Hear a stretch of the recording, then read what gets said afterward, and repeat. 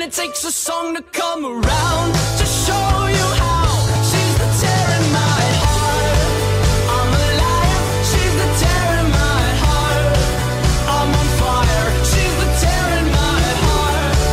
Take me higher than I've ever been. Good morning, folks. is March 31st, 2016, and we are only three episodes away from our 100th episode.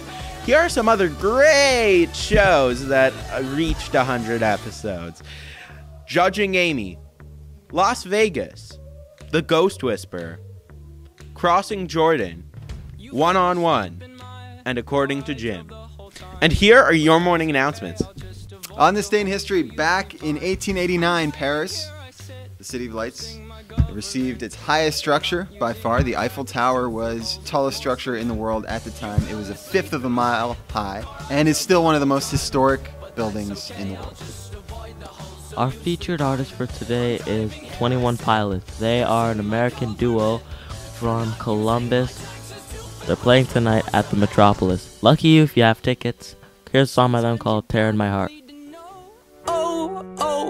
That you're alive and have a soul. Oh, oh, but it takes someone to come around to show you how she's the tear in my heart. I'm alive, she's the tear in my heart. I'm on fire, she's the tear in my heart. Fifth of a mile high. It was a fifth of a mile high, and uh, it was it was a fifth of a mile high.